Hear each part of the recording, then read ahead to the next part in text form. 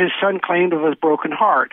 And again, to put into perspective how recent all of our understandings of things are, I remember in my early uh, career going to conferences, and I'm talking now in the in the 1970s and early 80s, where somebody would mention Milankovitch, and oh, immediately there'd be outcries. That charlatan, that crook, that don't mention that name here. And then, uh, as late as the late 1980s, I started going to conferences, and I remember one in Ottawa. And somebody mentioned Milankovitch as a possible explanation for a temperature trend, and nobody questioned it.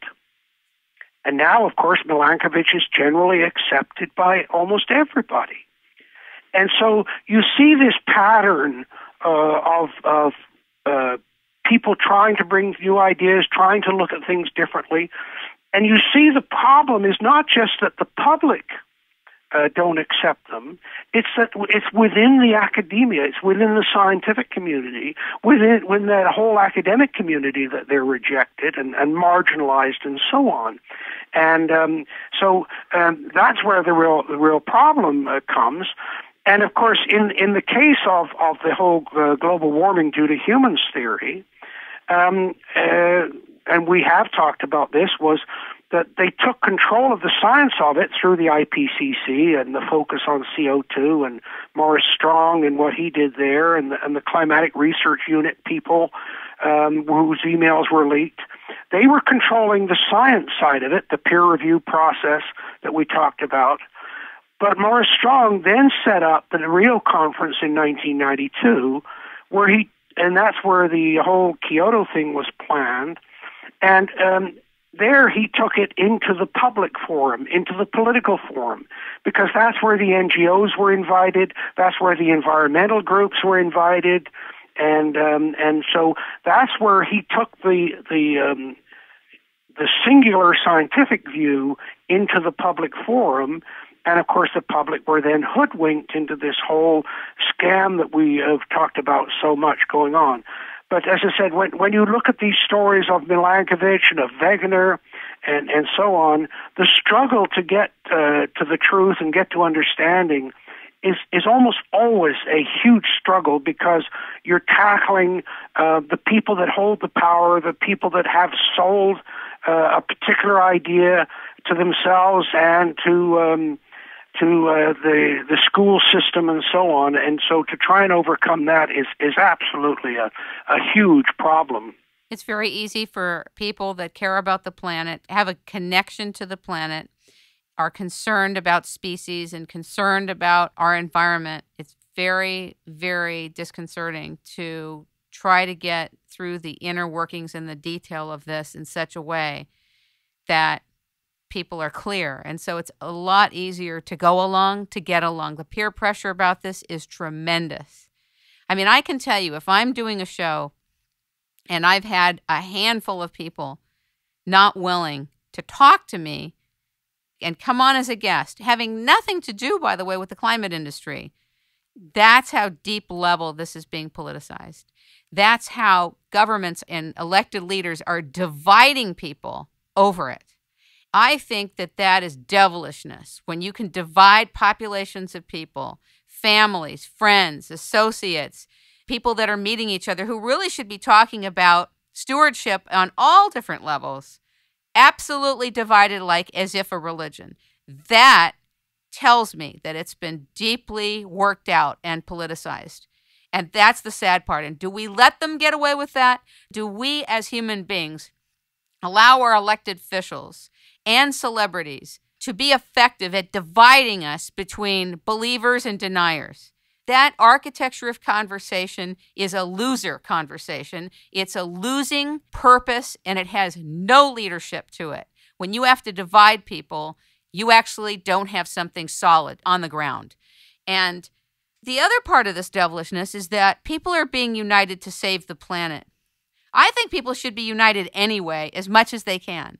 But the planet needs help on so many levels from so many people in every area imaginable from the seeds we use to the food we eat to the water we drink to all kinds of things to the gardens we can't grow anymore, apparently, to the farms that are now being controlled by big companies like Monsanto. So we all need to pull together, but we have had in our consciousness implanted a seed of consciousness that we're not good stewards, that it's not good enough what we're doing, that we're the problem.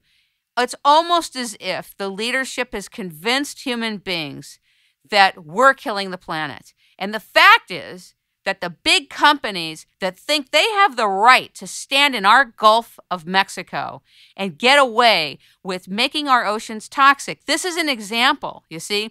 No, it's not the people on the Gulf Coast. It's not they're killing the planet. It's corporations that are given the total leeway to destroy the entire earth. That is part of the problem. And by the way, I'm a big advocate of non polluting on everything from the food supply to the water to the air and all of that. And it's interesting that there's still no middle ground. There's no paradigm yet.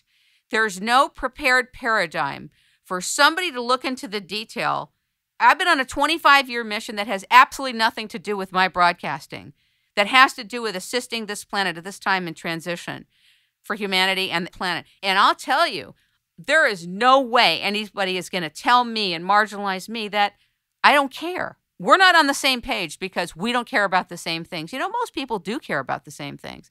Most people do want clean air. They do want clean water. They do want clean food. And they don't want seeds when the molecular structure of food is being completely changed.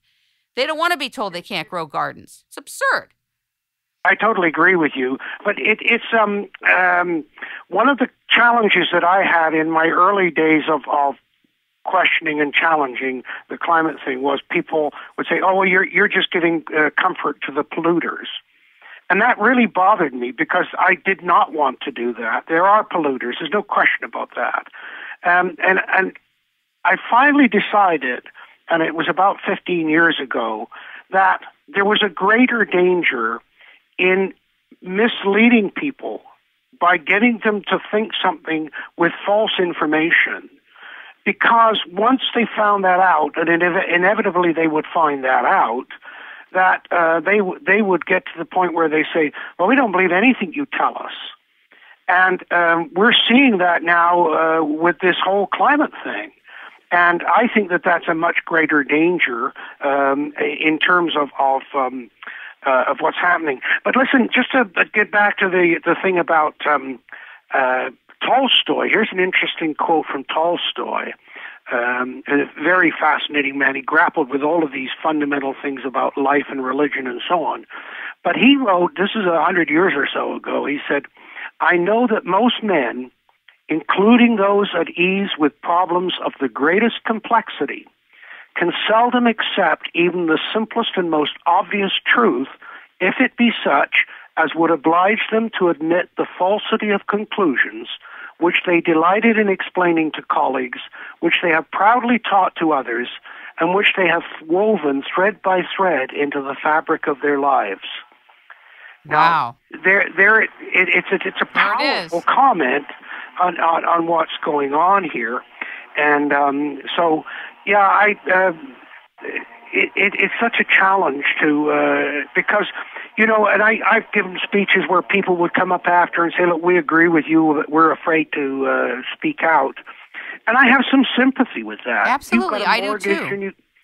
You, know, you've got a mortgage, you've got children, um, and um, it's it's the problem that's going on on that Gulf Coast right now, where the people are saying, "Well, yeah, we don't want the polluting of our Gulf."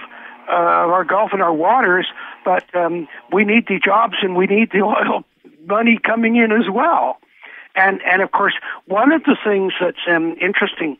Um, uh, I used to give lectures about a guy by the name of Eric Heilbroner. He was he was an American economic futurist, and he made the uh, uh, incredible observation, and I believe it was uh, as early as the mid '70s, and I talked about this in my political geography class. He said that multinationals are going to be the new nation states of the 21st century. Tragic. And that they, right, and that he said that they will not uh, be beholden to anybody. Because uh, what they'll do is if they're operating in your country, and you start to impose on them or impinge on them too much, they simply pick up